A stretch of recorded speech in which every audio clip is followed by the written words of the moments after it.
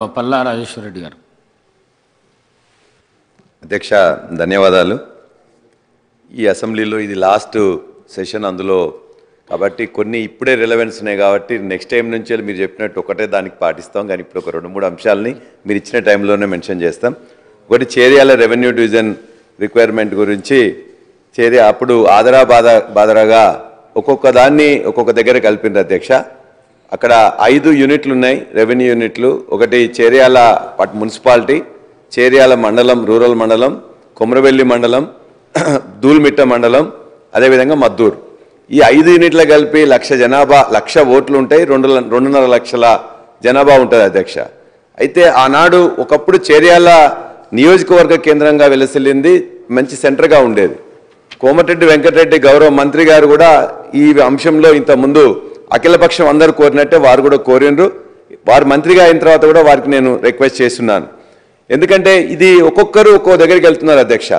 Revenue మన universe మన నియోజకవర్గ సంబంధించిన సమస్యలు ఉన్నట్లయితేనేమో జనగామకు రావాల్సి వస్తుంది. రెవెన్యూ సంబంధించిన సమస్యలకు సిద్దిపేట పోవాల్సి వస్తుంది. వ్యవసాయ సంబంధించిన సమస్యలకు గజ్వేల్ uh, డివిజన్కి పోవాల్సి వస్తుంది. పోలీస్ కానీ లేకపోతే ఎలక్ట్రిసిటీ సంబంధించిన సమస్యలకు ఉన్నట్లయితే uh, హుస్- హుస్నాబాద్ పోవాల్సి వస్తుంది. మాకు అంటే ఒక్కొక్క దానికి ఒక్కొక్కటి ఆనాడు ఆదరాబాదరగా చేసింది కాబట్టి దీన్ని చేరియాల రెవెన్యూ డివిజన్ ఏర్పాటు కావాలి. చేరియాలలోనే దానికి కావాల్సిన ఇంటిగ్రేటెడ్ ఆఫీస్ కాంప్లెక్స్ కూడా ఉంది అధ్యక్ష. కాబట్టి మనం కొద్ది మంది ఎంప్లాయీస్ని ఇచ్చినట్లయితే వీళ్ళందరూ కూడా అన్ని పనులు కూడా ఇక్కడే చేసుకుంటానికి ఆస్కారం ఉంటుంది కాబట్టి గౌరవ మంత్రివర్యులకు బాగా తెలుసు వారు కూడా డిమాండ్ చేసి ఉన్నారు కాబట్టి మీ ద్వారా వారికి కూడా లెటర్ అదే ముఖ్యమంత్రి గారికి కూడా లెటర్ పంపిస్తాం. దయచేసి దీన్ని ఇమ్మీడియట్గా దీన్ని చేసినట్లయితే ఆ ప్రాంత ప్రజలు ఎప్పుడు కూడా అంటే ఇవన్నిట్లో కూడా ఇబ్బందులు కలగకుండా ఉంటాయని చెప్పేసి మీ ద్వారా ప్రభుత్వానికి మంత్రులకు విజ్ఞప్తి చేస్తున్నాం అధ్యక్ష.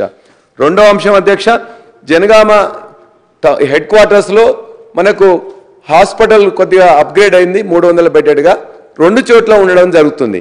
హాస్పిటల్ మెడికల్ కాలేజ్ కూడా వచ్చింది కానీ. సిటీ స్కాన్ అనేది ఎప్పుడో ఉన్నది అధ్యక్ష దాన్ని ఖరాబ్ అయితే రిపేర్ చేద్దామని చెప్పేసి ఎన్ని ప్రయత్నాలు చేసినా అది కావట్లే. దాన్ని డిస్పోజ్ చేయాలంటే కూడా పెద్ద ప్రాసెస్ అధ్యక్ష. రేడియో యాక్టివ్ మెటీరియల్ ఉపయోగిస్తారు కాబట్టి దాన్ని డిస్మాండిల్ చేయడానికి యాక్చువల్గా అది బాగు కావట్లేదు కాబట్టి కొత్త తప్పనిసరి కావాలి. లేకపోతే ఇటు హైదరాబాద్ గాంధీ కానీ ఉస్మానియా రావాల్సి వస్తుంది లేకపోతే ఎంజిఎం హైదరాబాద్ వరంగల్ పోవాల్సి వస్తుంది. సెకండ్ ఇయర్ కూడా మనం ఇవాళ మెడికల్ కాలేజ్ వస్తుంది కాబట్టి ఈ లోపల ఇమ్మీడియట్గా ఎంఆర్ఐ కావాలి సిటీ స్కాన్ కావాలి మిగతా అన్ని కావాలి. దానికి సంబంధించిన డీటెయిల్స్ హ్యూమన్ రిసోర్సెస్ రిక్వైర్మెంట్ కూడా మీ ద్వారా హెల్త్ మినిస్టర్ గారికి ప్రభుత్వానికి కూడా పంపిస్తా. దాన్ని కూడా కొద్దిగా అయ్యేటట్లు చూడాల్సిందిగా విజ్ఞప్తి.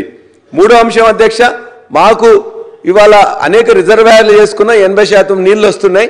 తపాస్పల్లి కానీ లేకపోతే అక్కడున్న లద్నూరు మిగతా రిజర్వాయర్లలో నీళ్ళు నింపుకున్నట్లయితే ఆ కాలు కొన్ని నింపినాయి కొన్ని నింపినా కూడా కాలువలకు నీళ్ళు రావట్లే. ఇప్పుడు ఎండిపోయే పరిస్థితి ఉన్నది. కాబట్టి పూర్తిగా నింపడానికి కావాల్సిన దేవాలయ దగ్గర నీళ్ళున్నాయి. ఆ రిజర్వాయర్లు నింపాలి కాలువలకు వదలాలి. చెరువులను కూడా రెండు వందల యాభై పైన చెరువులు ఉంటే గత సంవత్సరం ఇదే టైంలో నూట ఇరవై చెరువులకు పైన నిండి ఉండేది. డెబ్బై ఐదు నుండి యాభై శాతం. ఇవాళ ఎంత ఉన్నాయంటే ఒక ఐదు పది చెరువులు మాత్రమే నిండి ఉన్నాయి. కాబట్టి దయచేసి అవకాశం ఉంది నీళ్ళు ఉన్నాయి ఆ రిజర్వాయర్ నింపాలి. అదేవిధంగా చెరువులు నింపుకున్నట్లయితే ఈ యాసంగి పంటలను కొద్దిగా సేవ్ చేసుకోవచ్చు అని అనుకుంటున్నాం. లాస్ట్ అధ్యక్ష ఇవాళ నేను రైతు బంధు సమితి అధ్యక్షునిగా ఉన్నా కాబట్టి రాష్ట్రంలో అనేక ప్రాంతాల్లో వేరుశెనగ రైతులకు కావలసిన ధర రావట్లే. దాని యొక్క మామూలుగా విత్తనాలకే పన్నెండు వేల రూపాయలు క్వింటాల్కున్నది అధ్యక్ష. కాబట్టి దాన్ని అలా కొన్ని చోట్ల కొట్లాడలు కూడా అచ్చంపేటల మీద చూసినట్లయితే రైతులందరూ పోయి అక్కడ పోయి కూడా బయటకు పోయి కొట్లాట జరిగిన సందర్భం ఉన్నది.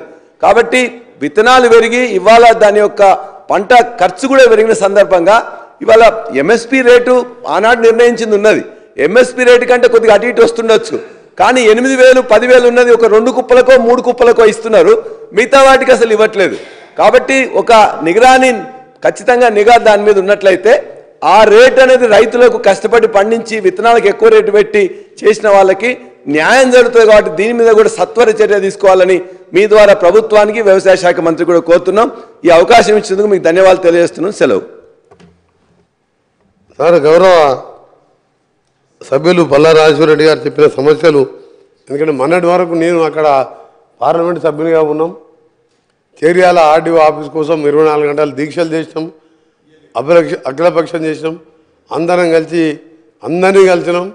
ఒక చీఫ్ సెక్రటరీ గారు సీఎం గారు అపాయింట్మెంట్ చేయలేదు తప్ప అందరినీ కలిసినాం. కానీ అది ఎట్లయినా తప్ప చేరియాలంటే ఒక చరిత్ర ఉన్న ఏరియా అది. ఒక కాన్స్టిట్యున్సీ హెడ్ క్వార్టర్ కాదు. పోరాటాలకు మారిపోయారు అలాంటి చేరియాలని జనగామ అసెంబ్లీలో కలిపినప్పుడు దాన్ని ఒక ఇప్పుడే చెప్పింది వారే చెప్పింది కాబట్టి నా నోటితో చెప్పేది. తప్పకుండా దీన్ని ఆదరాబాదరాగా చేసినాను. ఆదరాబాదరా చేయకూడదు అధ్యక్ష. ఉస్నా హుస్నాబాదు ఉస్నాబాదు అధికారులు మీ కింద పనిచేస్తారు. అధికారులు మనం చెప్పినట్టు వింటారు వాళ్ళు. వాళ్ళు సొంతంగా నిర్ణయాన్ని తీసుకునేది లేదు. నేను తప్పకుండా గౌరవ ముఖ్యమంత్రి గారితో రెవెన్యూ డివిజన్ ఆఫీస్ గురించి మాట్లాడాను. దాని గురించి కూడా కొన్ని ఇంకా జడ్చల్ ఎమ్మెల్యే గారు కూడా అడిగింది కాబట్టి అనిల్ రెడ్డి గారు.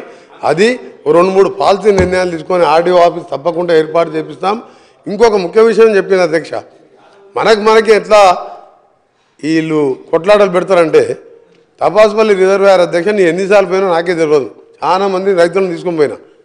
అక్కడికి వెళ్ళి జనగామ కాన్ఫరెన్స్ పారిన తర్వాతనే బయటికి పోవాలి.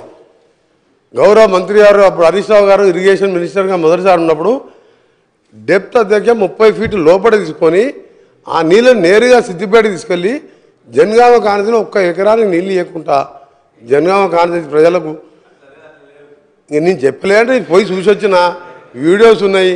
నేను మిమ్మల్ని తప్పట్లేదు. మీ మిమ్మల్ని తప్పు పట్టట్లేదు మీరు మంచి కోరిక తప్పకుండా దాన్ని వేరే రెక్టిఫై చేస్తానికి నేను ఆల్రెడీ ఆలోచన చేస్తున్నా. జగన్గా జనగాంలో తపాసుపల్లిలో మీలో నలభై చెరుపుల విధంగా సీఎం గారితో డిస్కస్ చేసినా హరీష్ రావు గారు తీసుకుపోయినా బాగుండాలి సిద్దిపేట కూడా అని జనగామాలు కూడా బాగుండాలి అధ్యక్ష. తప్పకుండా దాని మీద కూడా చర్యలు తీసుకుంటున్నాం. అన్నీ కూడా అప్పుడే చర్చించడం జరిగింది. గౌరవ